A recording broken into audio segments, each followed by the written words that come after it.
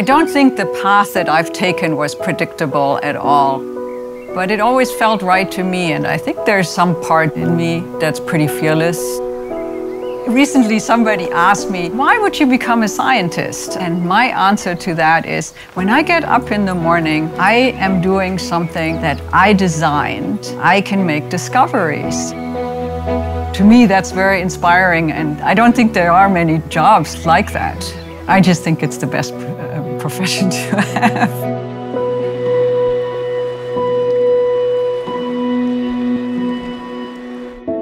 I was born in Cologne, Germany. My mother was, I think, pretty revolutionary in her educational methods. I have an older brother, and I think she really tried to educate us in a gender neutral way. Looking forward, her inspiration really encouraged me to do what I was going to do.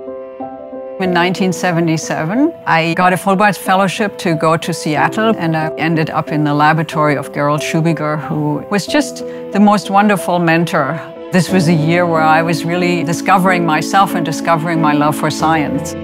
After a couple of years, I had this opportunity to start a new institute that allowed me to become a leader and really thinking about not just how to do science, but also how to lead science.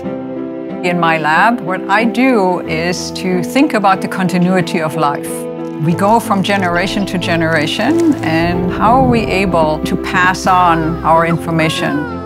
What's absolutely critical for that is a class of cells called germ cells.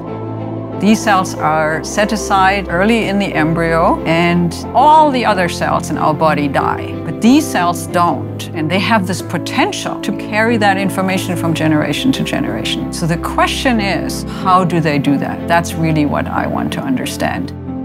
I think I'm most proud that I created an environment that encourages people to look at science with the same joy and enthusiasm and fearlessness that I do. If we want to include everyone in the scientific process, we need to make sure that everyone can get mentored. And so I consider the impact we have made with the research we have conducted, but also training the next generation.